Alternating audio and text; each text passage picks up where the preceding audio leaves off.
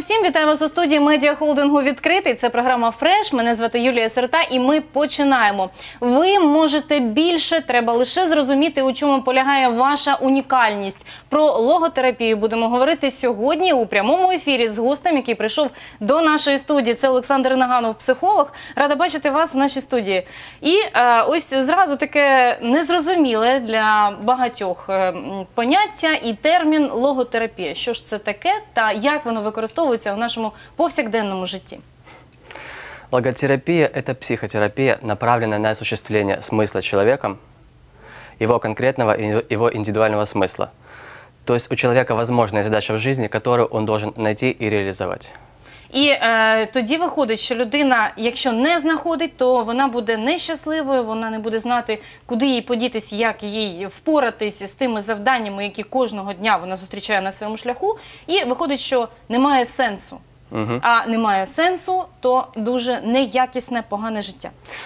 Так. Логотерапия подразумевает, что мы каждый день находим возможности и ценности, которые можем реализовать. То есть, допустим, если у нас нет какой-то дальней цели, то есть мы точно не знаем, кем мы хотим быть в жизни, то мы можем реализовать те ценности, которые у нас на сегодня. Так, виходить, що ми повинні використовувати усі свої можливості. Ми повинні зрозуміти, у чому є е, суть і сенс нашого життя, для того, щоб потім е, робити якісь висновки, там вирішувати ті чи інші питання. Ну, наприклад, ми е, говоримо зараз е, про якусь конкретну людину, так? І ми розуміємо, що вона, наприклад, е, хоче орієнтуватись на щось, на свої мрії, якісь у житті, так? Але вона не може нічого з собою зробити. Вона не знає, як це зробити, е, чому так відбувається, е, є- що робить логотерапія, що ло- робить логотерапевт, як він її може направити на вирішення тієї чи іншої конкретної задачі. Здесь суть заключается в том, что человек не отвечающая сторона, а вопрошающая. То есть он задает вопрос себе. В чем мое предназначение? То есть он спрашивает у самого себя, для чего я полезен в этом мире, что я могу дать такого другому человеку, либо миру, что он может принять от меня. И в таком, именно в таком ключе он приобретает ответственность. Именно так. У него есть свобода для того, для чего-то. То есть свобода для чего-то, и эту свободу он на одном берегу имеет, а на втором ответственность. И с помощью ответственности пытается у себя спросить. В таком случае человек уже не является ведомой стороной, а именно ведущим, ведущим своей жизни. Так, він е, може керувати, він може вирішувати те, що йому хочеться. Але ж зараз дуже багато людей, які е, не розуміють, що потрібно в своєму житті знайти, і не мають тієї відповідальності. Ото, мабуть, найгірше, е, що може бути з людиною. І скажіть, будь ласка, чи можна це виховати в собі? Э, Франкл э, любил фразу Гёте, который говорил «делайте то, что должно сегодня». То есть именно то, к чему тянет, это могут быть обыкновенные ценности. Допустим, у меня сегодня во- возникла возможность реализовать себя здесь, в эфире. Я могу это либо принять, либо отвергнуть. Я это принимаю, и меня это к чему-то выводит. То есть ре- наша реализация, она находится в мире. То есть не в самом себе, а в мире, в котором мы должны найти ее. То есть действуя, а обязательно только действуя, человек может себя как-то найти и актуализировать. Під лежачий Да. камінь вода не тече. Ось дуже непогана українська така поговорка, яка існує. І якщо керуватися нею, теж то е, можна так чи інакше, е, але до чогось прийти. Щось е, роблячи, ми звичайно ж керуємось своїми внутрішніми почуттями, і ми можемо вирішити на той період часу своє поставлене завдання. Е, Якщо, наприклад, е, людина не сформувала тієї впевненості в собі, то е, як її отримати, де її взяти, і за допомогою чого ця впевненість з'являється у людини? Хороший вопрос, спасибо. В принципе, много людей подвержены саморефлексии, то есть много смотреть на себя. Когда человек много обращает внимание на свои поступки, на свои действия, он, как правило, не уверен. Логотерапия в таком случае предлагает направить интенцию, то есть э, самотрансцендироваться, то есть это значит э, направить свою интенцию движения в русло деятельности. То есть, допустим, если взять конкретно случай ваш ведущий, да, как бы у вас очень много работы, вам нужно позаботиться о гостях, о том, как, как вы будете выглядеть, о том, что вы будете говорить, то есть, ну, вы на это не обращаете внимания, доходит до автоматизма, и ваша интенция, ваше движение направлено на гостя, чтобы ему в первую очередь было комфортно, и на вашу работу. То есть у вас попросту, я считаю, нет времени на то, чтобы сказать себе, что тут, я- вот тут надо остановиться, здесь как-то неправильно сказал, это потом, это уже последствия работы как бы проделаны, как бы, но не во время самой работы. То есть человек забывает о самом себе и направляется в сторону мира. Так, і таким чином в- е, в- ось ця впевненість, яка з'являється вже, коли ти бачиш е, після того так свою роботу, можеш її оцінити, рах- охарактеризувати і зробити якісь висновки. Тобто, е, ось така робота, яка з'являється вже після того, е, як ви щось зробили. Так, робота над собою, над своїми пол- помилками вже з'являється потім. Але спершу ви її приймаєте. Ось це, мабуть, Это как направление выход из самого себя, направление на что-то большее, чем ты есть сам, На что-то более существенное. То есть это примерно добродетели, когда человек направляет всю свою энергию на создание чего-либо, что более важно, чем он сам. Вот именно только в таком случае человек может реализоваться, и вот эта саморефлексия, она проходит, и появляется уверенность. Но опять же, здесь, здесь очень важны действия. Когда человек начинает действовать, он начинает получать уверенность. Если мы находимся в одном положении, и движение не наблюдается, то по сути и мы не можем А як же тоді такий здоровий егоїзм, про який сьогодні говорять? От кажуть, людина повинна все одно бути направленою, націленою на себе. Вона повинна зрозуміти, що їй е, от зараз хочеться, наприклад, е, щоб вона могла відпочити, отримати задоволення, там отримати якісь життєві насолоди, наприклад. Так, тобто такий егоїзм він теж повинен бути.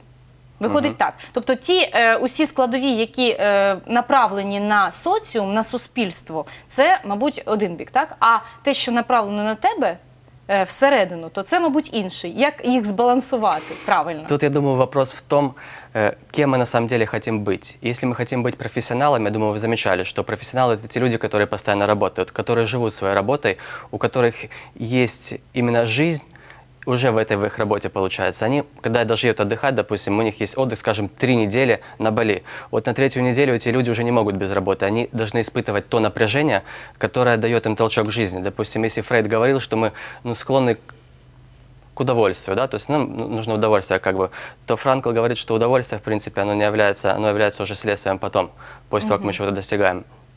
То есть человек живет именно в том, что он делает. Как-то так. Так, ну зрозуміло. Е, Дуже різні підходи, е, до речі, є у тих видатних людей, які направляли у свій час е, суспільство, направляли кожного. І ті підходи вони різняться.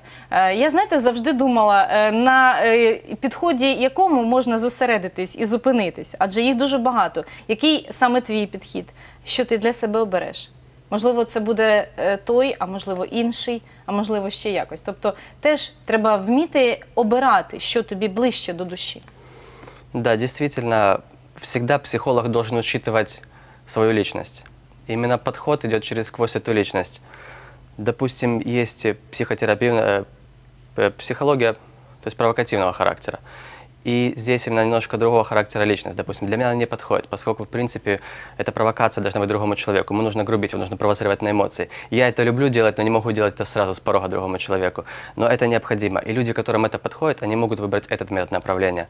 В принципе, как говорил сам Франкл, я с этим согласен, э, психология Фрейда – это, в принципе, детская психология. Индивидуальная психология Адлера – это уже подростковая психология, которая направлена да, на самоактуализацию такую, на власть больше. А наверное, самая крыша этого пятиэтажного здания, внизу которого в подвале находится Фред, это именно все-таки Франкл, поскольку он направлен на душу человека. Он развивает душу человека, и его измерение, оно этическое. То есть в его системе, которая у нас есть ну, трех трехуровневая система – это физиологическая, психологическая и духовная, или ноэтическая, как называет ее сам Франкл. Именно к этому и направлена логотерапия. Так, тобто треба е, мати ті складові, їх три, ну такі основні, так е, щоб вони е, між собою гармонійно поєднувались і е, не допустити, щоб е, один з якихось е, моментів, е, наприклад, запав десь, так е, якийсь не розвивати е, чи там на якийсь не звертати увагу. Треба, щоб все це гармонійно, повноцінно тоді буде людина. Якщо от все це гармонійно буде діяти в її житті, вона може корис- скористатися е, усім багажом, який вона для себе зробила. Так З приводу того, от як людині, е, якщо перейдемо вже до практичної е, частини того питання, так логотерапія, як логотерапія може допомогти людині знайти себе. Поставить, наверное, перед собой вопрос, в первую очередь, должен человек, кто я, для чего я здесь. Логотерапия – это вопрос, в первую очередь, для самого себя. То есть она свободу, духовность и ответственность. Именно ответственность. Просто когда человек имеет смелость задать такой вопрос, для чего я в этом мире, что я могу в него принести, в таком случае появляется ответственность, и человек начинает что-то делать. Он понимает, что, в принципе, если он страдает по своей вине, то это его вина. То есть, почему я сейчас страдаю, что я могу с этим сделать? А это уже взрослый человек. То есть, я могу что-то как-то изменить. Хорошо, сам не могу, я могу пойти к психологу, я могу еще что-то предпринять для этого. І виходить, що е, та відповідальність, яку треба скерувати, е, от вона дуже часто в підлітковому віці отак е, дуже хибна. І звикли діти, що відповідальність лежить на батьках, на педагогах, там на дорослих людях. А е, знайти її самому і е, відповідати вже за конкретні дії, за свої вчинки навіть, то дуже важко. Е, Ви працюєте з дітьми. Я знаю, що є у вас такий досвід і досить непоганий досвід. Діти вас люблять, працюють з вами. З приводу таких ем, от конкретних порад хотілося б почути від вас, як ви формуєте відповідальність. І я думаю, що ті батьки, вчителі, які зараз нас почують, вони теж повинні взяти до уваги е, саме ті принципи, які повинні лежати з самого початку і у формуванні особистості. Відповідальність, якою вона може бути. Позволяйте детям делать больше всего самостоятельно, то, что они могут сделать на самом деле. Потому что в действительности есть э, большая пропасть между школой и институтом. В школе, в принципе, ребенок, как бы он себя ни вел, что бы он ни делал, какие оценки бы он ни получал, он будет учиться. Что бы то ни стало, его никто не выгонит, он будет там находиться. Но переходя в университет, институт, особенно такой серьезной квалификации, с ним никто нянчиться не будет. То есть ребенок не приобретает ответственность в школе, потом переносит э, свою распущенность в университет, ему становится тяжело. То есть уч- учителя в буквальном смысле нянчатся с ними.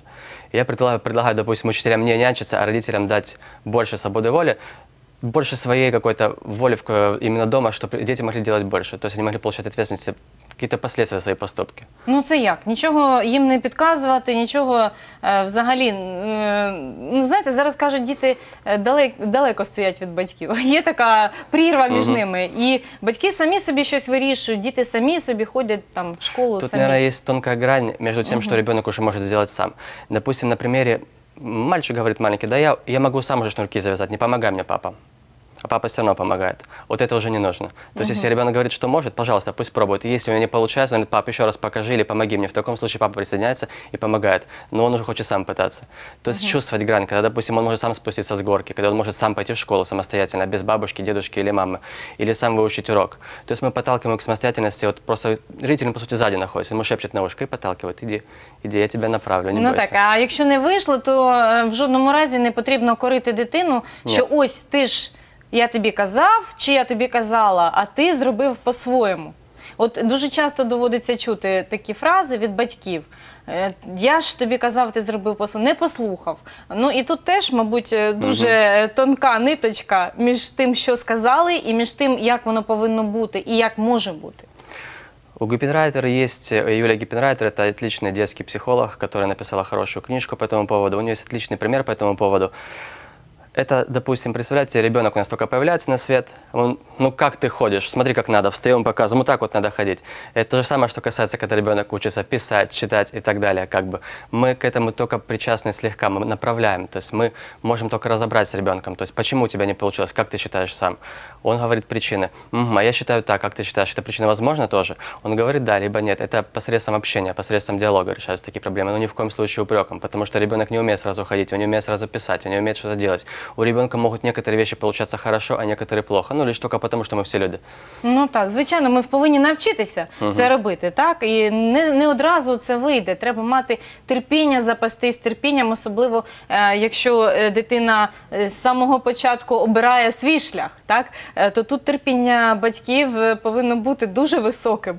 Е, з приводу того, що ви сказали, ось звинувачувати е, е, звинувачувати когось, звинувачувати е, тих людей, е, які можливо могли би взяти на себе відповідальність. Якраз логотерапія е, вона показує нам, що якщо ти береш на себе відповідальність, то усі провини вже й твої. Так? Виходить так.